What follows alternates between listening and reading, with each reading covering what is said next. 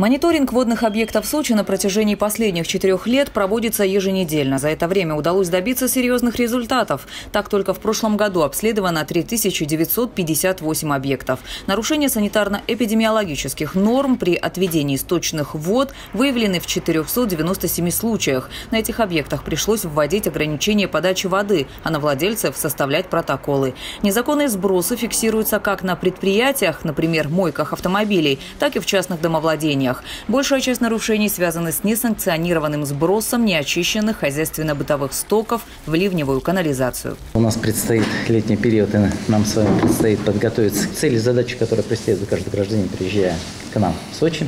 Она носит два принципа. Первый – это, конечно, оздоровитель. И мы всегда говорили о том, что Черноморское побережье является таким фактором. Второй принцип, потому что мы должны нарушить форму отдыха таковой, которую каждый, приезжая с дальних регионов или ближайших регионов, они хотели отдохнуть. Инфраструктура сам Сочи готов к этому. Администрация Сочи активно прокладывает новые канализационные сети, что также существенно влияет на сокращение числа нарушений. Так, в прошлом году введен в эксплуатацию новый коллектор в переулке Виноградные, что позволило устранить сбросы хозяйственно-бытовых сточных вод в ливневку от предприятий ООО «Спецтех» и ООО «Рекламное агентство «Слон».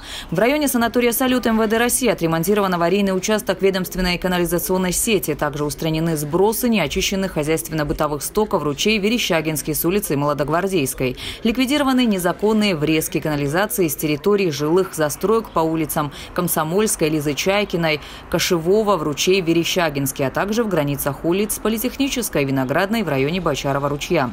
Отремонтирован аварийный участок по улице Плеханова. В общей сложности направлено в суд 12 исков, по которым собственников обязали принудительно подключиться к централизованным сетям водоотведения. Самая напряженная ситуация пока остается в Лазаревском районе. У нас проблема проблема начинается с Дагомыса.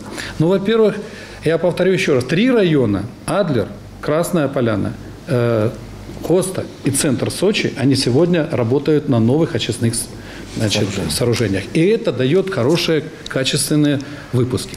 Что касается, начиная с Дагомыса, то там действительно, э, там действительно очистные сооружения еще построены в советское время. Нам надо обязательно завершить работы по строительству или реконструкции, как Андрей Анатольевич правильно сказал, реконструкция вот очистных сооружений. Некоторые в самой Лазаревке надо строить новые очистные сооружения. Ну, самая, скажем, сложная ситуация сложилась в ЛАО.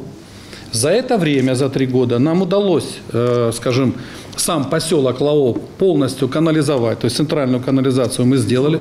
Новых двое очистных сооружений в Красной Поляне и в самом Адлере. Они дают самые, что ни на есть, показатели хорошие. И бзугинские очистные сооружения, которые работают на два района, на Хостинский и на Центральный. То есть, э, если говорить о море и выпусках в этих районах, то мы говорим о том, и Мария э, Александровна это подтвердит, что здесь у нас никаких проблем нет. Также на совещании обсудили вопрос запуска очистных сооружений на полигоне полигоне в Лао. Заключен контракт, есть э, подрядная организация, уже закуплено оборудование и до мая месяца уже будут выполнены работы по запуску очистных сооружений. И очистные сооружения канализации в Зубу, значит, в этом году мы э, планируем завершить, завершить обследование и э, приступить э, к завершению строительства второй очереди. Затронули и тему восстановления трубы глубоководного выпуска, которую разрушила штормом. В связи со смещением части глубоководного выпуска необходимо детальное подводное обследование с дальнейшей корректировкой проекта. После определения объемов дополнительного исследования проект будет доработан и выставлен на конкурс для заключения контракта. Инга Габейшая, Владимир Киселев, телекомпания «ФКТ».